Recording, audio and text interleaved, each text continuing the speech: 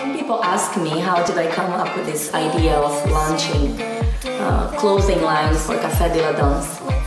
And I always say this idea was in the back of my mind for the last three years, where I actually launched the first collection three years ago, where we sold most of it. But then I got so busy with the studio and teaching classes and managing at the same time, plus all the shows that we do, that I had really no time to, to give much attention to this project and had also no time to create anything. I was just super busy. This year I got somebody that really changed a lot in the studio.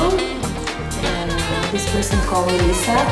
She was a super talented girl. She is a super talented girl and she has a lot of experience with the design.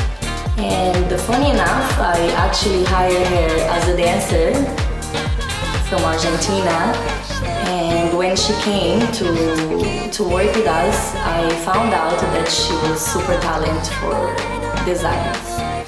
And then I was telling her this project that I had and I actually started three years ago and it was kind of uh, left behind and then she told me, well, I can help you to revive this project and we can do it together. So that's how Café de la Danse Dancewear uh, came up again with the, the whole new collection. So basically we have we have uh, three collections that we're launching.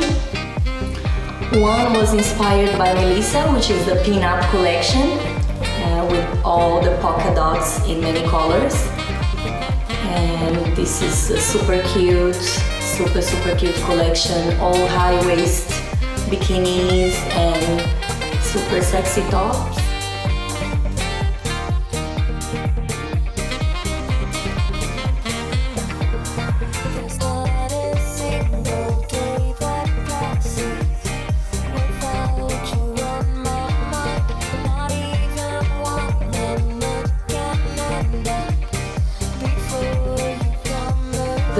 Second one was inspired by me yeah, with braids.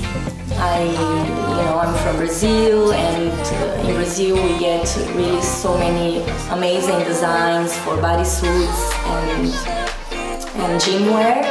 And with all my uh, clothes that I have bought through all these years from Brazil, I came up with this design which which shapes the body at the same time, show a little bit skin because the part that is braided it's transparent. And then it shows off a little bit the skin which looks really nice.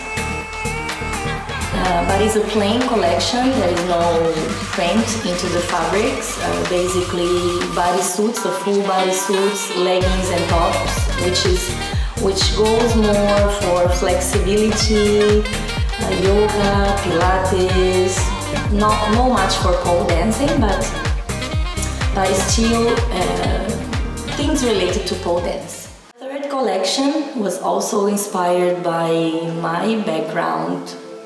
For who doesn't know, I, I come from a belly dance background. I've been here in the Arabic world many, many years and living in an Arabic country and being a belly dancer, living in a world full of crystals and shiny and glitter. So I, I decided to design this collection called Arabica, which has a little bit of uh, oriental inspiration.